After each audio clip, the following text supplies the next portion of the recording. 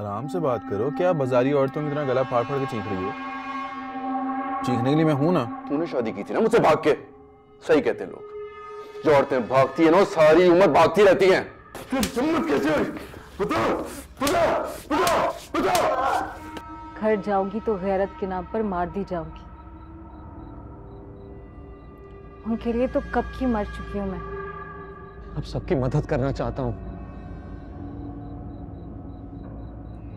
सबको इंसाफ दिलाना चाहता हूँ। कहाँ जा रहे हो?